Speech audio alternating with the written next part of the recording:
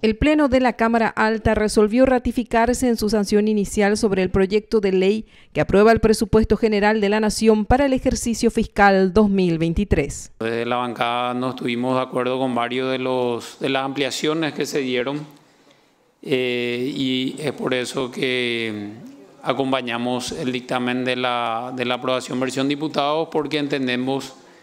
eh, o es la versión que menos aumentos eh, tiene, sobre todo en, gastos corrientes. Hemos revisado el proyecto proveniente de diputados y recomendamos ratificar el texto del Senado. Quiero hacer una serie de consideraciones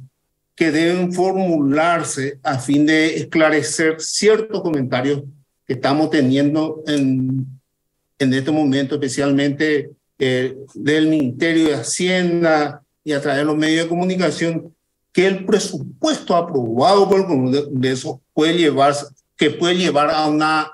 debacle financiera y puede propiciar problemas al Tesoro. Queda ratificado el texto de la Cámara de Senadores y se remite al Poder Ejecutivo.